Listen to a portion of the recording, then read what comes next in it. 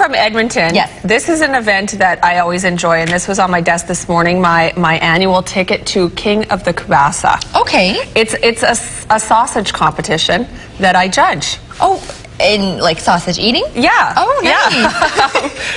King of the Kubasa and uh, local sausage makers. They all make their best and they enter it. I bet it's delicious. It is, and then the next day I reek of garlic. So hopefully Warren will be back and don't have to put through that. But I do want to tell you, it's February 9th, 7 p.m. at uh, Prairieland Park. Tickets are only $25. It's for charity, and uh, you can get uh, tickets online at Pick a Dick. Pick. Oh well, you're thinking about sausage, so